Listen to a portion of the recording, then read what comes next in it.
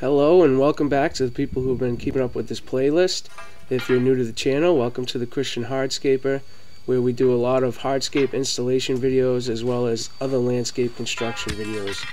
Uh, we're at the point in this process where we're laying out our screed pipes, which um, these pipes you see me using here are called uh, galvanized gas pipes. You can get them from any of your um, home stores, Home Depot, Lowe's, and they're uh, inch interior gas pipe. So it's like an inch and a quarter exterior. And um, any kind of uh, gas pipe smaller than that they're just not really that strong or durable. And after a while of um, using them and and hammering them they bend and they're just not a true straight edge anymore. So make sure you get a nice durable um, galvanized gas pipe for screeding uh, your walkways or patios. But um, let's get right into this guys and I'll explain what I'm doing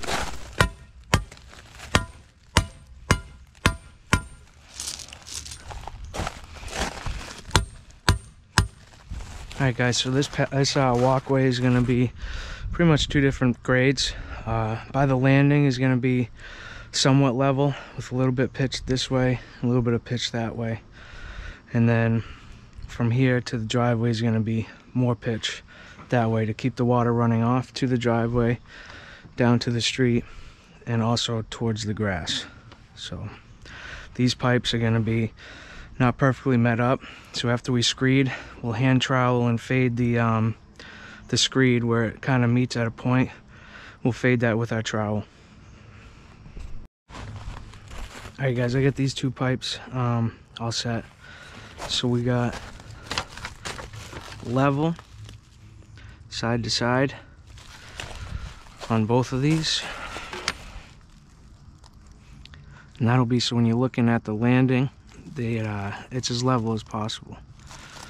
And then from the uh, landing side to the grass, we've got a little more than an eighth of a pitch.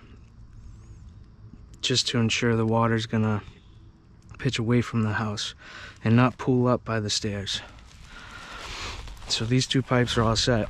Now we uh, fade these pipes into these ones and those are gonna pitch towards the driveway and towards the grass as well.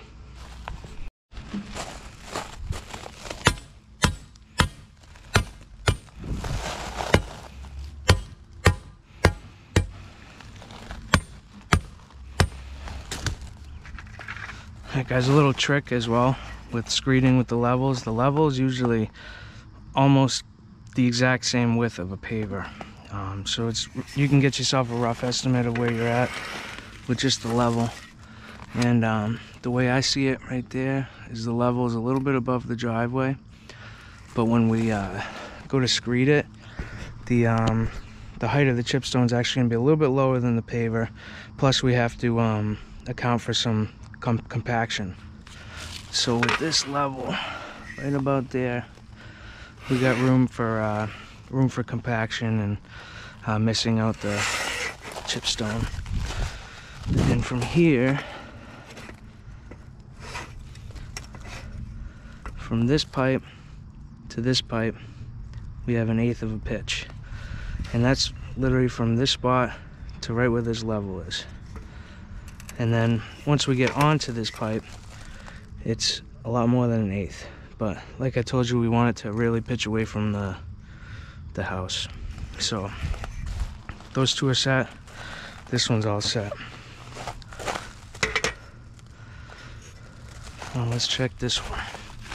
So we have our we have our eighth, so this side's higher than this side, which is what we want to ensure the water goes this way. And we have our pitch going that way. So that's a little bit more than what we need. The bottom looks good. Just need to knock this top in a little.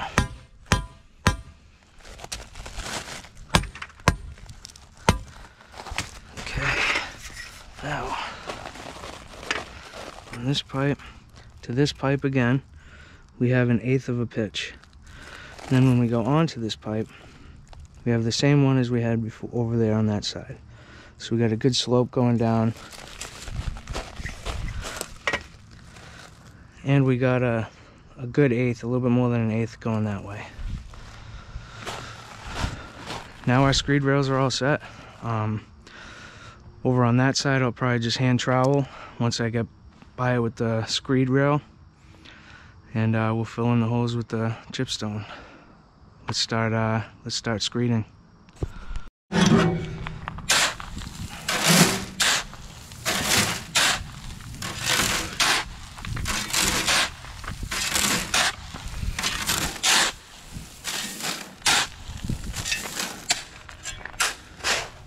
All right, so this is our chipstone.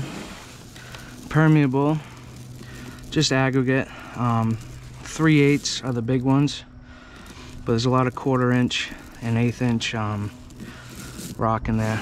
Nice screedable material and allows water to pass no problem.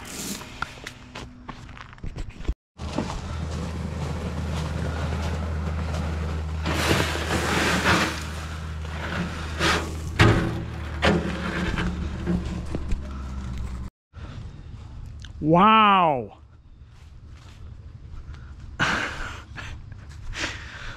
You guys do if I walked like that?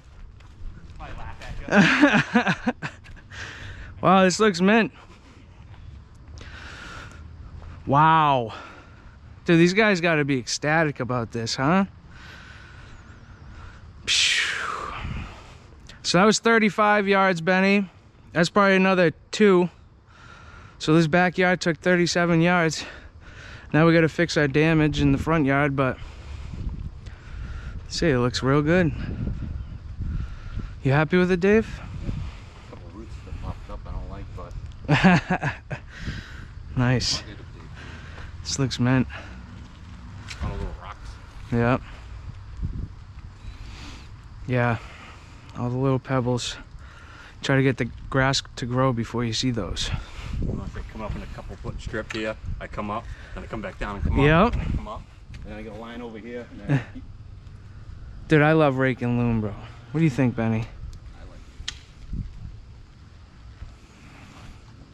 How do I look with this dumb thing on my head? I don't know, It's stretching my it's stretching my eyes up. Keeping them open. Ah, maybe I need one. So uh you guys want to do something? Look at my footprints. Dave's probably pissed at me right now. Uh, I wasn't that mad. I'll walk in the same I'll walk in the same prints, dude. Now I gotta walk like this though.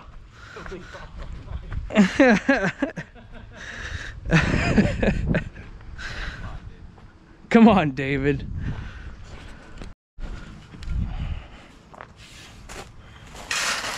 Dude, look at I can see myself in the reflection. I look I do look a little silly. I mean I look like uh, Honey I Shrunk the Kids when he's over the grass in the Oh, backyard, dude. I that movie. Man, it's funny how like when you think about those movies, dude, and you're like, wow, you get all hyped up because of nostalgia, and you watch it, you're like, oh, it's really not that good. Yeah, wow, they've come a long way with movies. yeah, exactly. Like, my son says all the time, he's like, "So this, like, this is so fake. it's just so fake. Hey, Ethan, the shit you're watching, it's all fake too, buddy. Yep, But it looks fake. it's just better, better fake. in 20 years from now, the shit you're watching right now, you're gonna say it looks like garbage. Oh yeah, dude. Every every couple years, you can really see the difference in the movies, man. I always kind of old stuff, you know? Yep.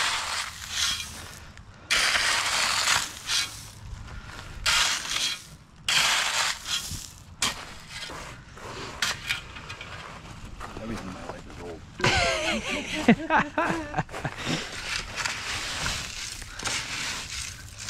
Some people like everything in my house is old. They're like everything. I'm like, well, not like appliances and like TV and like shit like you need. Like, everything else, yeah. Yeah. Retro.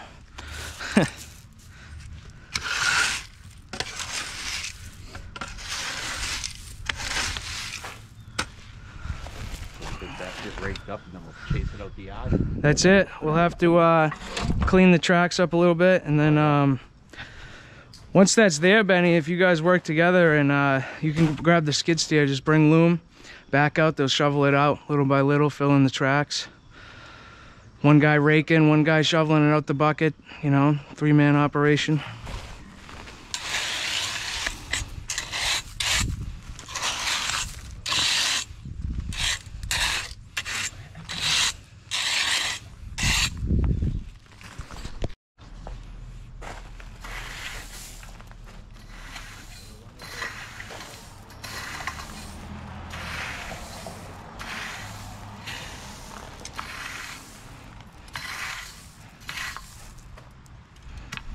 Last weekend. I went to Brimfield a couple days.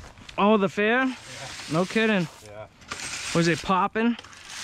It, it was crowded like you wouldn't believe. like COVID never happened. Yeah. Dude, I love those things, man, because they're just really cool what they have, but I just can't be around that many people, dude. I lose it. It's the stuff. Like you're so like your head spinning. Yep. stuff. It's like you don't even take in the people. Like, you're so like like junk drunk. Yeah, junk drunk. That's a, that's funny. You know. Yeah. Junk drunk. Oh, Dave, I keep meaning to tell you, bro. I got, uh, did I tell you about the tractor wheels? No. Dude, uh, I think one wagon wheel, two tractor wheels. All metal, dude. Real old, dude. Yeah. Where we were working in Hopkinton, she was just getting rid of a bunch of scrap metal and they were in it. I'll have to show you a picture. Dave's an awesome guy. He loves yard sailing and going to fairs and getting antiques and stuff. So that's why I shared that with him. But uh, so we're we're screeding now, and uh, you can see where those two pipes meet. That's going to take a little bit of finesse work afterward afterwards to make sure it fades in right, and I will show you how to do that. But um, you know, when it comes to screeding, guys, I see a lot of people using two by fours and stuff, and um, you know, there's really not many two by fours that you can buy that are, are true and straight like a level is, or some kind of screed rail. So make sure you use a, a level or a screed rail, something more true than a two by four, so that you don't end up with any uh, dips or, or humps in your walkway or patio. And uh, anyway, now I'm pulling these pipes out, and I'm gonna fill the fill where the pipes were with some more chipstone, and just use my uh, trowel or float to uh, level it all off. We got it all screeded and uh, I filled in the, the pipe holes, I guess you say, or channels. And I just wanted to go over real quick about stepping on the bedding sand. There's a lot of people out there that are really, really strict about not even wanting you to step on it. Um, I'm a little different. You can definitely step on it. You got to trowel stuff out anyway. Uh, I don't know if you can see on camera, but it's really rough where these two pipes met because of the angle. And this is what I was explaining at the beginning is you can't worry about that too much because it can end up just kind of um, killing your production time when you know you can go through with the trowel anyway. So I'm gonna go up with the trowel and smooth that out and work my way out anyway. But um, to me, the main reason the screed pipes are there to get your grade right. Uh, there's always room to, to work with the, the chip stone with your trowel. Um, like that bit where that mailbox is, I want a little bit more pitch, so I'm gonna I'm gonna slowly pitch it up a little bit, so we know that the water's gonna stay away from the landing. So um, you can always go back that back through it with your trowel, and um, you got to go back through it anyway to smooth out where your pipes are, pipes were. So don't be too worried about it. I mean, you don't want to go trampling over everything you did, but um, you know if you're cautious and you step on like where the pipes were or where you have to um, trowel anyway you can um, you can definitely walk on it. So let's do that. Let's um let's trowel this area out.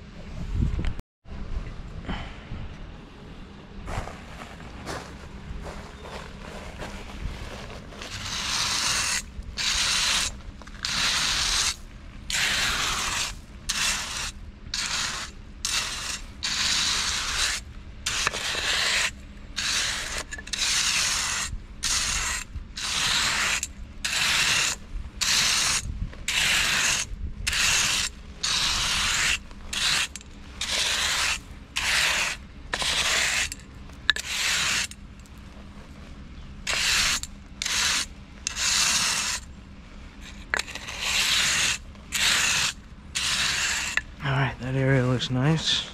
Back up a little.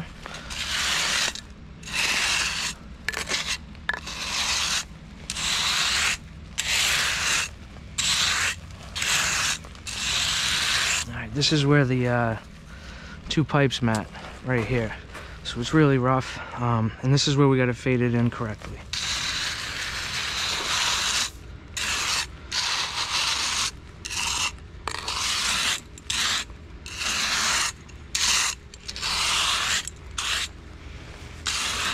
Don't worry about not being able to reach. You can move over and get it from another area. You just kind of do what's in your uh, your reach.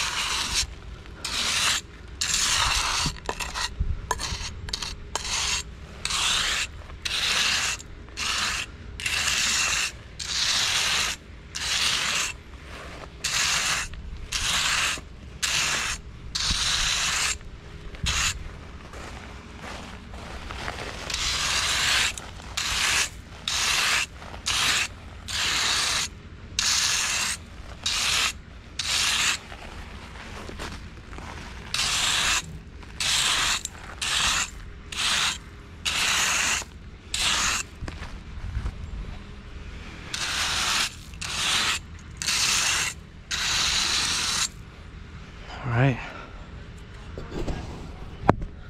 So, as you can see, you really don't have to worry too much about those. You just go through it and you do some touch-ups.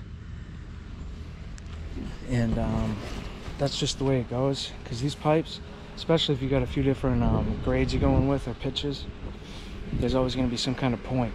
So you got to get in there with the trowel and uh, smooth it out, fade it in almost. So I got to do that same thing with the uh, with the pipes where grade it all out and then it's to laying some pavers. Well, I hope you guys enjoyed this video on how we uh, screed for a paver walkway. If you haven't seen the videos of how we excavated and backfilled before this video, make sure you check those out. Hit that like and subscribe for me. It goes a long way for the channel. And also check out the next video where we uh, lay the pavers. So, thanks for watching, guys. Until the next video, God bless.